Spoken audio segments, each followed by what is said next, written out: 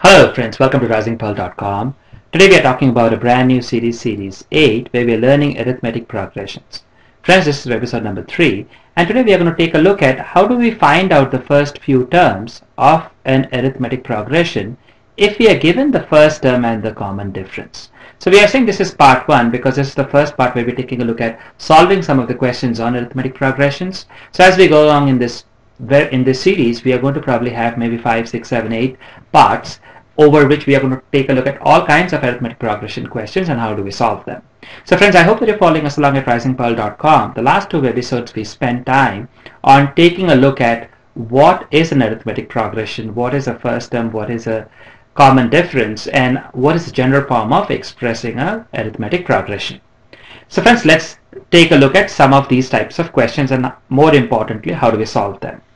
So the first question goes like this. Write the first five terms of an arithmetic progression. AP is abbreviated form for arithmetic progression given the first term and the common difference. So let's say the first term is given as 2 and common difference is given as 3. So if this is the question, how do we find out the first five terms? So the first term is obviously A which is given as 2 the second term is A2. We write it this way. We saw that in the last episode. So A subscript 2. So we find this by taking the first term and adding common difference to it.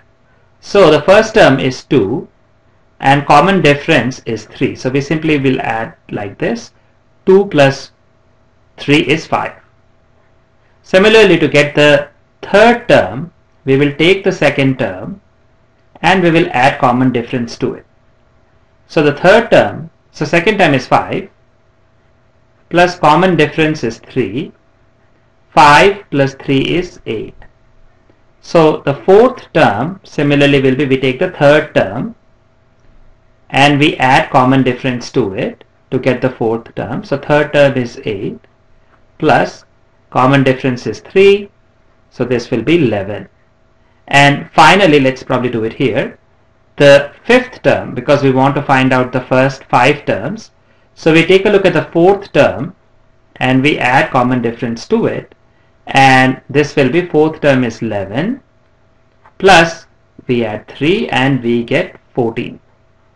So in other words, our series, our, our arithmetic progression series will look like first term is 2, second term is 5, third term is 8, fourth term is 11, fifth term is 14.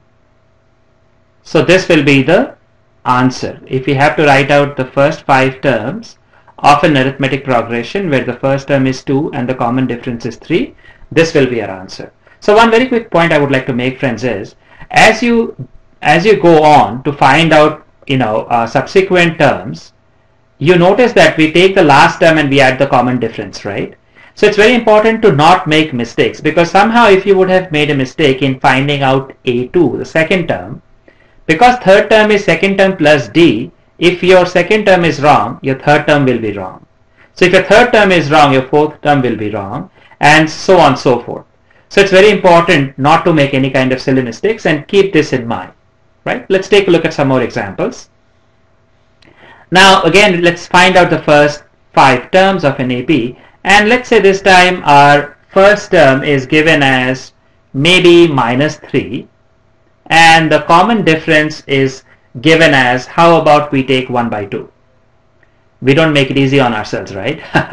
Alright so the first term obviously is minus 3 second term a2 is going to be first term plus common difference so the first term is minus 3 plus common difference is 1 by 2.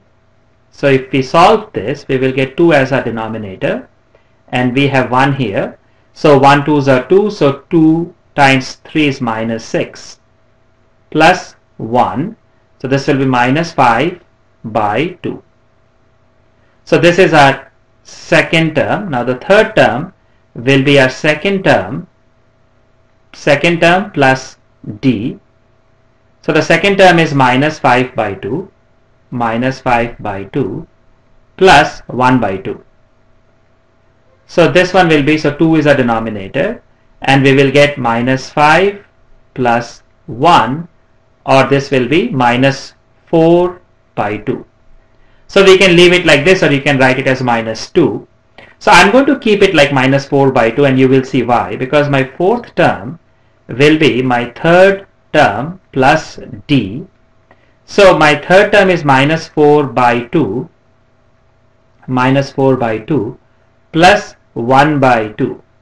See the reason I left it instead of minus 2 cancelling it out and writing this as minus 2 I wanted to leave it like this it will be easier to take the LCM so here we will have 2 as denominator so this will be minus 4 plus 1 or in other words this will be minus 3 by 2 and similarly the fifth term the final term will be minus 3 by 2 minus 3 by 2 plus 1 by 2 this will be so denominator is 2 and numerator is minus 3 plus 1 it will be minus 2 by 2 so if we have to write out all the terms so we start with minus 3 our first term is minus 3 so we write minus 3 second term is minus 5 by 2 so we write minus 5 by 2 the third term now we can write it as minus 2 minus 2 fourth term is minus 3 by 2 and the last term we can write it as minus 1.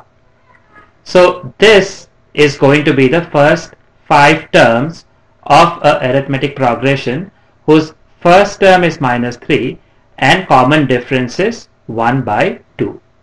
Let's take a look at one more example. So in this case how about we start at let's say something like a equals say 2.25 let's go take a decimal number and say our common uh, difference for this arithmetic series if it is given as minus 0.25. So if the first term is this and if the common difference is this, how can we find out the first five terms? We will again you know use the same way. First term is given as 2.25 right? So the second term will be first term plus common difference. So the com so first term is 2.25 and then we will add minus 0.25. So if we do that we we are going to get so 2.25 minus 25 will be 2. So our third term will be equal to second term A2 plus common difference. So the second term is 2 as we just have found out plus common difference is minus 0.25. So if we solve this we will get 2 minus 0.25 will be 1.75. So similarly A4 will be A3 plus D that is A3 is this minus 0.25 that will be 1.50 and A5 which is a fifth term because we want to find out the first five terms it will be A4 plus D or 1.5 minus 0.25 which will be 1.25. So if you have to write out all the terms for our arithmetic, the first five terms for our arithmetic progression, so we started off with 2.25, the next term was 2, the next term after that was 1.75, 1.75. Then we had fourth term was 1.5 and the final term or the fifth term I should say is 1.25. So if we started out with 2.25 as first term and the common difference is given as minus 0.25 so these will be the first five terms of that arithmetic progression.